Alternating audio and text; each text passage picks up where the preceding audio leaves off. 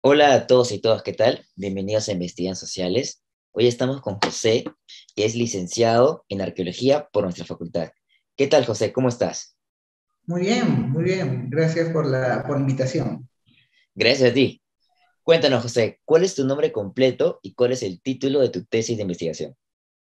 Bueno, mi nombre completo es José Antonio Bazán Castillo. La tesis la titulé Caracterización y funcionalidad del edificio monumental de la Huaca Fortaleza de Campoy en la margen derecha del Valle Bajo de Rímac durante los periodos tardíos. Excelente. ¿Y cómo escogiste el tema de investigación?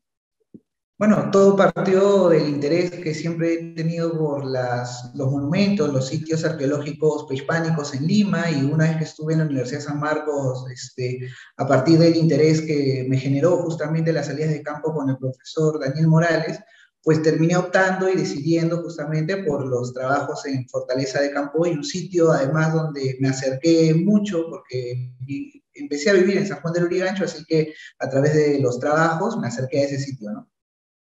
Perfecto. ¿Y quién fue tu asesor o asesora de tesis? ¿Cómo te ayudó?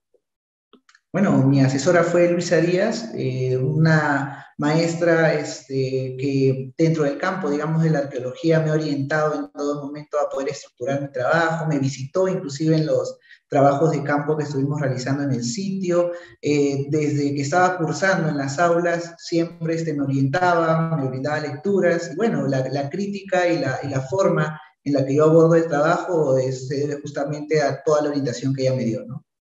Perfecto. ¿Y cuáles fueron tus fuentes de información y metodología?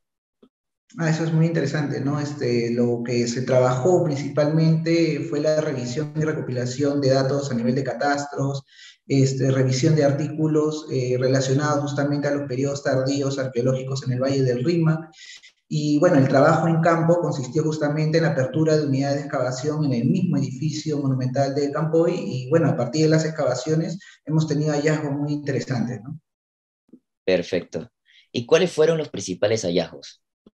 Bueno, fue establecer de alguna manera la cronología relativa, eh, de alguna manera también este, determinar la secuencia constructiva del edificio, hemos podido ver las fases eh, arquitectónicas y bueno, de alguna manera hemos podido también indagar un poco sobre el uso social de los espacios a través del análisis, en este caso arquitectónico de la Huaca, ¿no? Entonces, esos han sido los principales hallazgos que hemos tenido. Excelente. Muchísimas gracias, José, por participar en Investigaciones Sociales. Gracias por tu tiempo. No, a ti, muchas gracias.